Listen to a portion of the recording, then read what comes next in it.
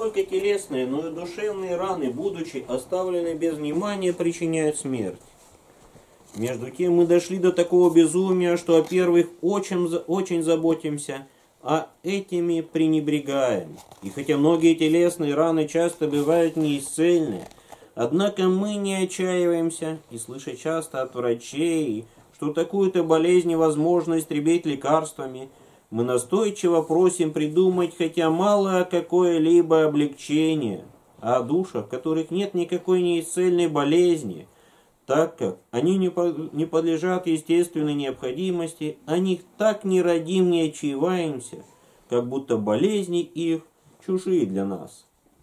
Где самое свойство болезни должно бы повергать нас в безнадежность, там мы, как имеющие большие надежды, заботимся о здоровье. А где нет ничего, почему бы следовало отчаиваться, там, как отчаявшиеся, отступаем и предаемся беспечности. Настолько-то более мы заботимся о теле, нежели о душе. Поэтому и тело сохранить не можем. Ведь то не родит о главном, а всю заботу обращает на низшее, тот разрушает и губит то и другое. А кто соблюдает порядок, охраняя и сберегая главнейшее, тот хотя бы не заботился о второстепенном, спасает и это через хранение первого, что и Христос объяснил нам словами. «Не бойтесь убивающих тело, души же не могущих убить, а бойтесь более того, кто может и душу, и тело погубить в гиене. Матфея 10, 28. Итак, убедили ли мы тебя, что никогда не должно отчаиваться в душевных болезнях, как бы не исцельных, или нужно предложить еще и другие доказательства? Если бы и тысячу раз отчаивался в самом себе, мы не отчаиваемся тебе никогда и не допустим сами того, за что осуждаем других. Хотя не одно и то же отчаиваться кому-либо в себе самом или другому в нем. Потому что отчаивающийся в другом может скоро получить прощение, отчаивающийся в самом себе никогда. Почему? Потому что тот не властен на строение раскаяния другого, а этот один властен над самим собою. И однако при всем том мы не будем отчаиваться в тебе, хотя бы ты сам тысячу раз подвергся этому, потому что, может быть, и произойдет возврат добродетели и возобновлению прежней жизни. Выслушай же и следующее. Ниневитяне, услышав сильную и ясную угрозу пророка, еще сорок дней и Ниневия будет разрушена. Иона 3.4. И после этого не упали духом, и хотя не были уверены, что умолят Бога, а скорее могли опасаться противного по поводу пророчества, ибо оно произнесено было не с каким-нибудь огорчением, но как прямое определение. При всем этом оказали раскаяние и говорили, кто знает, может быть, еще Бог умилосердится и отвратит от нас пылающий гнев свой, и мы не погибнем. И увидел Бог дела их, что они обратились от злого пути своего, и пожалел Бог о бедствии, о котором сказал, что наведет на них, и не навел. Иона 3, 9, 10.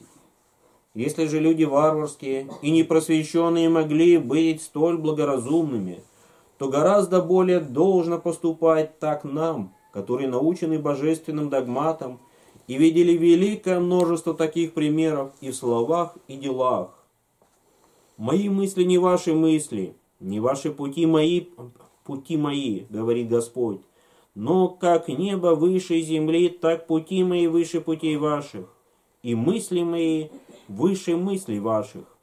Исайя 55, 8, 9. Если часто и мы, провинившийся слуг, когда они обещают исправиться, принимаем и опять удостаиваем прежней чести – а нередко оказываем им еще большее доверие, то гораздо более Бог. Ведь если бы Он создал нас для того, чтобы наказывать, то справедливо бы ты сомневался и отчаялся в своем спасении. Но если Он сотворил нас по единой только благости для того, чтобы мы наслаждались вечными благами, и к этому устрояет и направляет все от первого дня до настоящего времени, то что побуждает нас предаваться сомнению?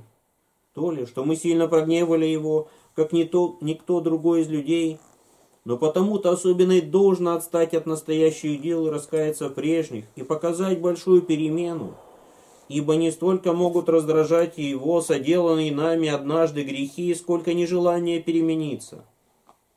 Грешить еще свойственно человеку, но кайснеть во грехах – это уже не человеческое, а вполне сатанинское дело. Смотри, как и через пророка Бог порицает последнее больше первого. Она ходила на всякую гору и под всякое ветвистое дерево и там блудодействовала. И после того, как она все это делала, я говорил, возвратись ко мне. Но она не возвратилась. Иеремия 3, 6, 7. И в другом месте, опять желая показать, сколь великое он имел попечение о нашем спасении, лишь только услышал, что израильтяне после многих беззаконий обещали идти правым путем, сказал, «О, если бы сердце их, бы, их было у них таково, чтобы бояться меня и соблюдать заповеди мои во все дни, дабы хорошо было им и сынам их вовек». Второзаконие 5.29. И Моисей, обращаясь к ним, сказал, «Итак, Израиль, чего требует от тебя Господь Бог твой, того только, чтобы ты боялся Господа Бога твоего, ходил всеми путями Его, и любил Его, и служил Господу Богу твоему от всего сердца твоего и от всей души твоей». Второзаконие 10.12. Итак, тот, кто ищет быть любимым нами и для этого делает все, кто не пощадил даже единородного для нашей любви и почитает вожделенным, чтобы мы, когда бы то ни было, примирились с ним, как не примет и не, полюб... и не полюбит кающихся. Послушай, что он говорит через пророка. «Исповедуй грехи твои, и будешь помилован». Про... Э, Исайя 43, 26. Этого не требует Он от нас для того, чтобы любовь наша к Нему была сильная. Когда любящий, получив множество оскорблений от любимых, не погасит себе любви, тогда он, если и старается обнаружить эти оскорбления, то не для чего иного, как для того, чтобы показать всю силу своей любви, склонить их большей и сильнейшей любви. Если же исповедание грехов доставляет такое утешение, то гораздо более очищение их делами. Если бы было не так, но однажды совратившимся с прямого пути Бог препятствовал возвратиться к прежнему, то никто, может быть, кроме немногих и весьма малочисленных, не вошел бы в Царство Небесное. А теперь встретим особенно прославленных и среди тех, которые подвергались этим падениям, ибо показавшие большую силу во зле покажут такую же в добре, сознавая, какими долгами они обременили себя что и Христос изъяснил, когда сказал Симону о жене. И, обратившись к женщине, сказал Симону, «Видишь ли ты эту женщину? Я пришел в дом твой, и ты воды мне на ноги не дал, а она слезами облила мне ноги и волосами головы своей терла. Ты целования мне не дал, а она с тех пор, как я пришел, не перестает целовать у меня ноги. Ты головы мне маслом не помазала, а она миром помазала мне ноги. А потому сказываю тебе, прощаются грехи ее многие за то, что она возлюбила много. А кому мало прощается, тот мало любит. Ей же сказал, прощаются тебе грехи. Лука, 7 глава, 44-48 стихи. Посему и дьявол, зная, что сделавшие много зла, когда начнут каяться, делают это с великой ревностью, как сознающие свои согрешения, опасается и боится, чтобы они не начали этого дела. Потому что, начав его, они бывают уже неудержимы и, воспламенившись покаянием, как бы огнем, соделывают свои души чище чистого золота. Увлекаемые совестью и воспоминанием о прежних грехах, как бы сильным ветром в пристань добродетели. И в этом-то их преимущество при теми, которые никогда не падали. То есть они проявляют сильнейшую ревность, если только, как я сказал, положат начало.